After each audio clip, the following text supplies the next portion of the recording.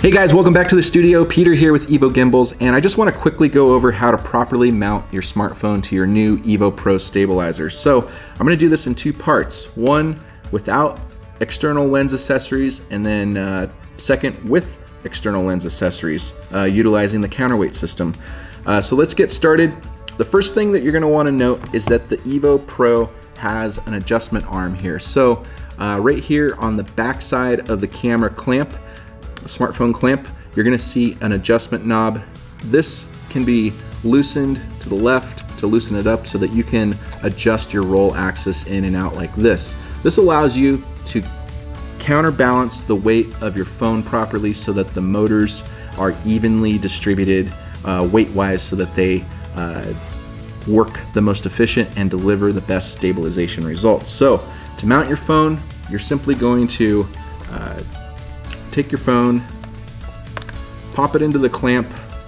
I like to go like this, top side in first, and then I pull out on the bottom clamp until I'm centered there. And then what you're gonna first wanna do is make sure that the center line of the tilt motor is even uh, with the center of your phone. So this actually adjusts up and down, just like this.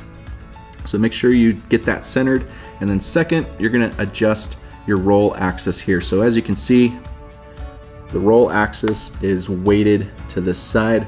I'm gonna want to adjust this arm and pull it out this direction. So I'm gonna do that by loosening up this arm, pull it out just a little bit, and then I'm gonna tighten that back up. And as you can see, this is fairly well even on each side. So now I can go ahead, I can power it on and get going.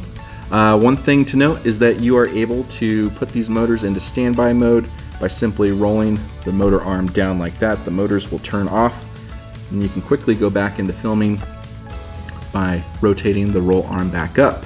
Now, if you are running an external lens system, such as a moment lens, uh, or maybe an anamorphic lens from another company such as Moondog Labs, or any uh, external lens system out there where it adds additional weight to your smartphone, uh, you're going to want to purchase our counterweight set. This is available on our website for $14.99.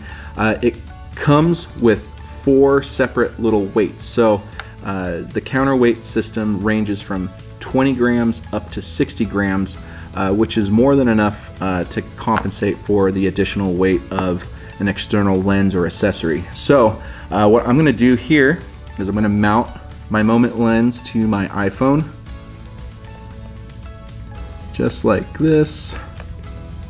And you're gonna see right away that it is just really far too heavy on uh, the one side of your phone, on the lens side of the phone.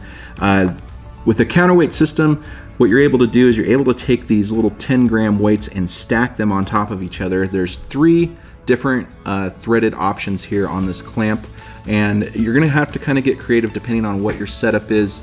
Uh, I already know where my weights need to go, so I'm just gonna do this real quick to show you.